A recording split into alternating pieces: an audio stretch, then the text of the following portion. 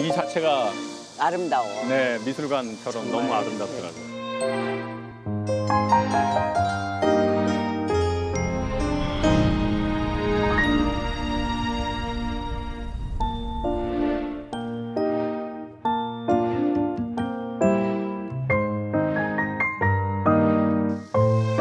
마마 주십시오 무겁사옵니다. 그걸 알면서 왜 이걸 준비했니? 그래, 그래도 충정의 마음으로. 마음으로. 이야, 어우 이거 선생님 무슨 나무예요? 배롱나무. 색깔이 엄청 곱네요. 절에도 있고 절에 앞마당에도 있고 그런데 집에는 잘 안 심는다고 그러는데 우리 집에도 있어. 저 하얀 것도 있어. 백백콩이라고 어머, 어머. 우리 아버지가 어. 그 고시 문중 산소에다가 심었는데 어마무시하게 자라 있어. 야 사람은 갔는데 그냥 남아 있더라고. 사람은 가셨는데 흔적이. 영화 대사 같네요. 네. 우와. 우와, 우와. 우와. 와.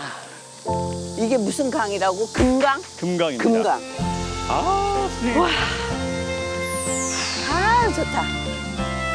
그 금강에 직접 왔구나. 와보다니 감개가 무량하옵니다. 무량하옵니다. 아. 여기 다 보이는구나 하늘. 자, 여기가 공주의 원도심이 제일 잘 보이는 여기가 이 공산성입니다. 그러니까 이 산성을 지을 때도 다 네. 풍수지리 이거 다 그쵸. 보고 옛날 분들이 어, 여기서 다 보여야 어떻게 할 것인가. 그렇죠. 들어오는 정치를 적을. 어떻게 할 것인가. 어, 들어오는 적은 어떻게 막을 것인가.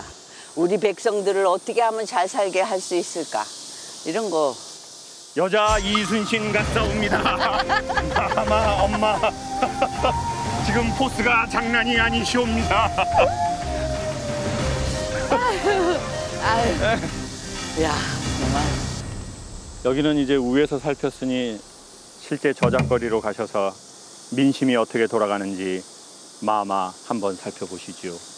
가시지요 마마. 다시 옹기를 내려가나요? 네.